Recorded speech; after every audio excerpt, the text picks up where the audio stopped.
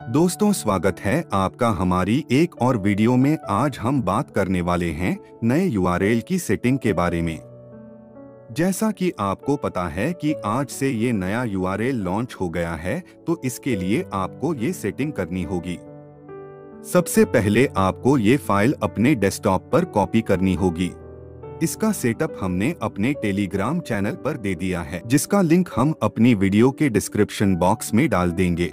आप इसको वहाँ से अपने डेस्कटॉप पर कॉपी कर सकते हैं। सबसे पहले आप इस यूआरएल पर राइट क्लिक करके इसको एक्सट्रैक्ट करेंगे। यह आपके सामने कुछ इस तरह से खुलकर आ जाएगा। अब आपको इसको ओपन करना है। यहाँ आपको तीन आइकन देखने को मिलेंगे। सबसे पहला है डिलीट टेम्परेरी फ़ाइल का। इसको राइट क्लिक करके रनेज एडमिनिस्ट्रेटर करेंगे। और इसको रन करेंगे। अब कोई भी की दबाएँगे। इसको ओके करेंगे। हमारी कुकीज और टेम्परेरी फ़ाइल डिलीट हो रही है।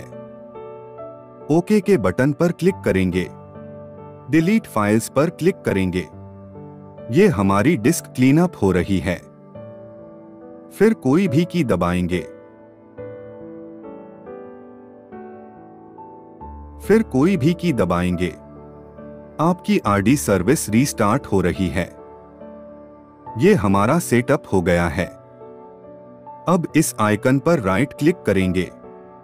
ये न्यू यूआरएल की एसबीआई की इंटरनेट एक्सप्लोरर की सेटिंग है। इसको आप मर्ज करेंगे। रन करेंगे। यस के बटन पर क्लिक करेंगे। यह आपकी सेटिंग चेंज हो गई है। अब इसमें आपको कियोस्क एस के आइकॉन पर जाना है। इसे आपको कॉपी करके अपने डेस्कटॉप पर डालना है। यह जो नया यूआरएल है, उसका शॉर्टकट है। इसको ओपन करेंगे।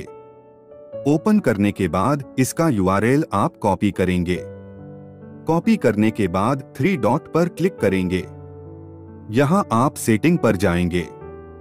सेटिंग पर जाने के बाद यहाँ आपको डिफ़ॉल्ट ब्राउज़र में जाना है। इसको आप यहाँ ऐड कर देंगे। अब आप ब्राउज़र को कट कर देंगे और अब इसको ओपन करेंगे। आपके न्यू यूआरएल की सेटिंग कंप्लीट हो गई है। अब आप जब भी इसको ओपन करेंगे, न्यू यूआरएल में ही ये ओपन होगा। दोस्तों, अगर आपको इसको सेट अप करने में कोई प्रॉब्लम होती है तो हमें कमेंट करके ज़रूर बताएँ। इस वीडियो में फ़िलहाल इतना ही। अगर आपको ये वीडियो इन्फॉर्मेटिव लगी हो तो वीडियो को लाइक और हमारे चैनल को सब्सक्राइब ज़रूर करें।